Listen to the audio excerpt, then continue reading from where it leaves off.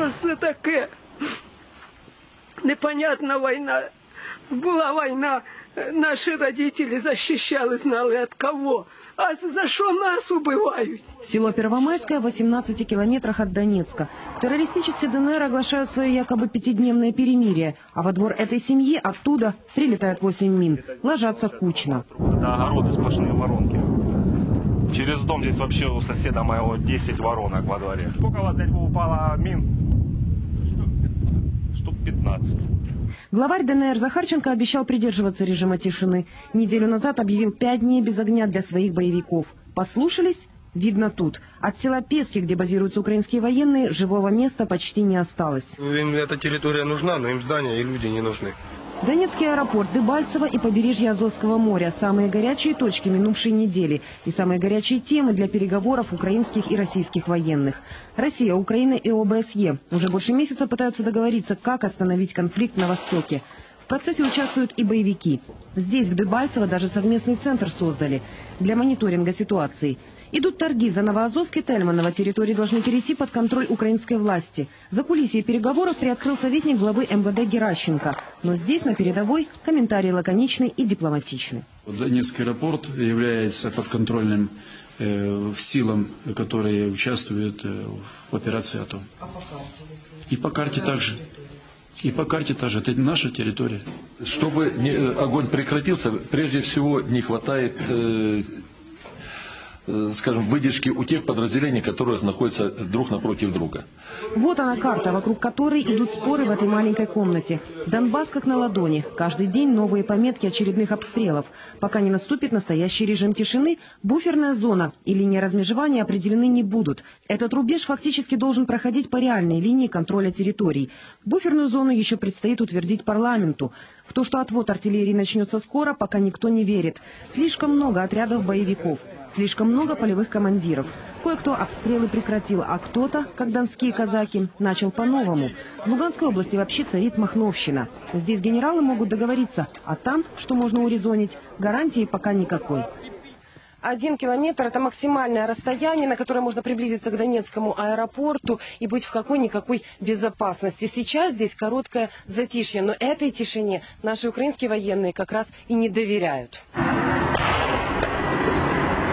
Генерал российской армии, которая делает вид, что не воюет на Донбассе, пытается давать указания украинским силовикам. Когда начинаем разговаривать, что за танки БМП появились с украинской стороны. Это э, подвозят там, говорит, продовольствие, подвозят медикаменты, эвакуируют раненых.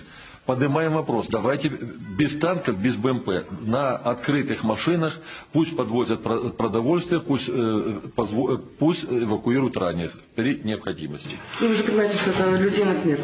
Самое главное не поднимать вот, э, вот э,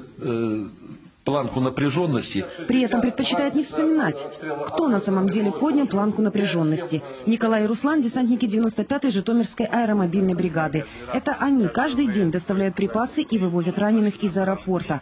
Предложение российского генерала заехать в терминал без брони считают абсурдным. Очень, очень тяжело, бо не знаю, з якої сторони, бо завжди починають обстрілювати. З якої сторони б'ють конкретно, ми не можемо приділити. Ми стараємося давати бой, в бой входимо і стараємося розгрузити, доставити воду, ну, боєприпаси основному, щоб продукти, щоб держалися. Кожен раз після кожного виїзду колеса пробити, шипять. До цього ніколи, кажеться, не привикнеш. Ну, ми, ми не надіялися, що вони порішають, що війська відведуть, що нам буде спокійніше вже, а так воно нічого не міняється. Так само йде обстріл, так само само йде. Сьогодні у нас часа два назад гради звідти лупили, десь кілометр звідси десь пали. Они, как и многие, надеялись не на генеральские переговоры в Дебальцевом, а президентские в Милане. Знаєте за зустріч вчора Путіна Порошенка? Де в Мілані? Да. Да. Ну, Що, по-моєму, вони там нічого не рішили, щось по газу, а по армії так я не знаю, що вони щось рішили чи ні. Переговоры одно, а танки увидеть в собственном огороде совсем другое. В селе Пащевка пять русских танков. Не знаю откуда, не знаю, как пришли, не знаю. Хозяева танков нашлись там, где идут полевые переговоры. Представители террористических ЛНР и ДНР путаются в формулировках. Все гражданские люди, взявшие, которые, значит, э, ну, как вам сказать, э, э, А вы думаете, там люди, которые с- на танках в армии не служили? Или вы думаете, на танк сел и поехал? А танки, танки Как нам говорят, танки отжали у противоположной стороны. сразу же. У России или у? У противоположной стороны, но не со У всей. нас не было столько танков. В 15 километрах от совместного центра, где ведутся переговоры о восстановлении мира на Донбассе, здесь, на крайней точке, на крайнем блокпосту украинской армии, готовится контрнаступлению боевиков. Я не знаю, что сюда можно садить. Но, честно сказать, страшно реально. Мы прекращаем, вроде бы никого не троем, сидим тихонько, молча, к нам прилетает. Из-за чего прилетает,